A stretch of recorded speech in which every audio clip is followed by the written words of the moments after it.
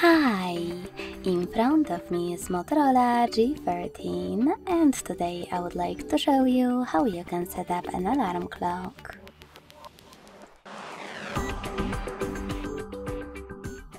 Begin by opening Clock app and tapping on Alarm section at the bottom left corner.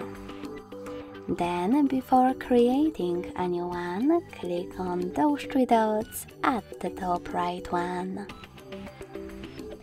Then select Settings and manage all of those under alarms however you want to, like snooze. When you're done, go back and click on this icon with a plus at the bottom.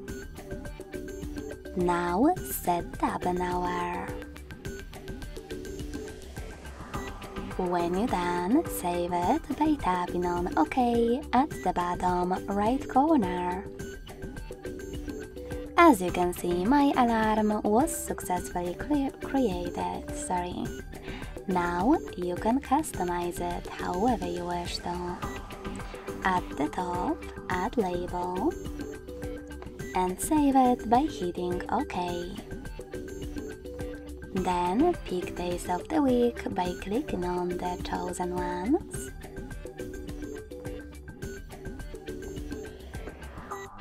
And to exclude some of them, click on this plus next to pause alarm. Then pick the exact date.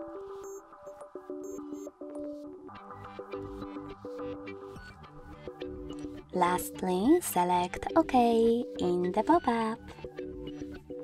You can always change your mind and use this little icon to delete those days. Now click on bell icon. Choose Dismiss in the pop-up and then decide if you wish to. For example, click on YouTube Music or Spotify log in to your accounts and use music from it. Or select Sounds and click on Add New under your sounds. Now you can pick any song from your smartphone and set it up by tapping on it. If you don't want to do it either, just click on one of those sounds from the list.